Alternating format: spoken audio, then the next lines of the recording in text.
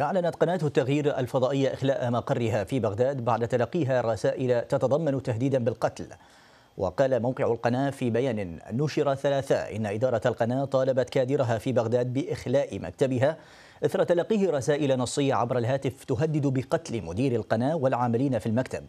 من جانبه وصف بيان لجمعية الدفاع عن حرية الصحافة التهديد بالانتهاك الصارخ لحرية العمل الصحفي والإعلامي كما رفضت تكرار تهديد الصحفيين ومحاولة خنق حرية العمل الإعلامي مطالبة رئيس الوزراء العراقي مصطفى الكاظمي بحماية وسائل الإعلام أو ما يقوض حرية التعبير.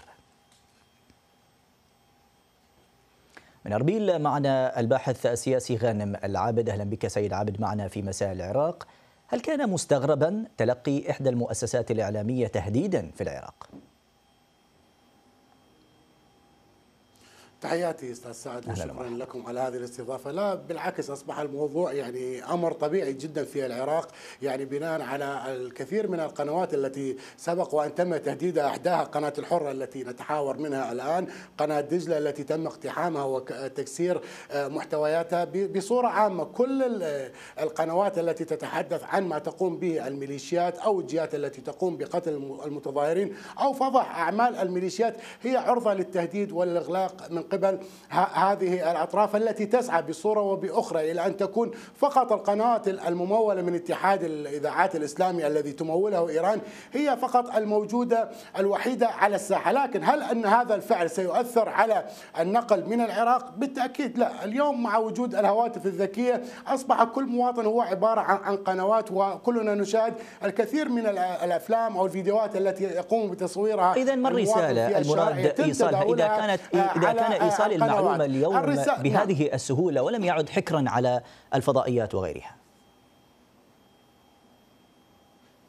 نعم حقيقة هي أكثر من رسالة. أولا هي إسكات كل الأصوات الوطنية والأصوات التي تفضح أعمال هذه الميليشيات. ورسالة أخرى موجهة إلى الشارع العراقي أننا نحن من نتحكم بالمشهد وليس هناك قوة بإمكانها إيقافنا عن أي فعل نتجه إليه. والرسالة الأهم هي إلى إلى الحكومة العراقية أننا أقوى منكم وعلى المواطن العراقي أن يعي هذه الحقيقة أن هذه الميليشيات هي أقوى من سلطة الحكومة المركزية أو المؤسسة المؤسسات آه، الرسمية. لكن هل أن هذا العمل سيستمر؟ أنا أعتقد أن هذه الميليشيات بالرغم من كل ما فعلته من تدمير للعراق قتل المتظاهرين فوضى آه، آه، قيامها بإحداث فوضى كبيرة الأسبوع الماضي والتي أشار أشارت إليها اليوم رئاسة مجلس الوزراء على خلفية اعتقال القيادي عامر لواء الطفوف قاسم مصلح أنها في أيامها الأخيرة وأنها خسرت طيب هنا هنا نقطتان سيد سيد عابد. يعني تحدث تحدثت عن رسالة مراد إيصالها من من؟ هل هناك معلومات عن من يقف خلف هذه التهديدات؟ هذا أولا ثانيا هل نتوقع رد فعل حكوميا مختلفا هذه المرة تجاهها؟ يعني أستاذ سعد أنا تحدثت من خلال قناة الحرة قبل شهرين وأكرر القول. هذه الميليشيات خصوصا الميليشيات الولائية المرتبطة بإيران تسعى لإحداث فوضى داخل العراق بحيث أننا نصل إلى الانتخابات المبكرة وأن لا يكون السيد رئيس الحكومة على رأس هذه الحكومة. لابد من الإطاحة بحكومة السيد مصطفى الكاظمي وأن يكون البديل هو آه، نوري المالكي. هذه الميليشيات ستفتح الفوضات ويعني سأذكركم بهذا الكلام. ستفتح فوضات أكبر سواء في بغداد سواء في يعني سيد عابد هذا اتهام ربما يكون مبطنا نوعا ما يعني وحق الرد مكفول للجهة الأخرى التي وجه إليها الاتهام ببيان هذا الموقف من هذا الاتهام. ولكن الموقف الحكومي هل سيكون مختلفا هذه المرة؟ يعني اولا أستاذ سعد أنا لا أتهم اتهام مبطن أنا أتهم الميليشيات بصورة واضحة.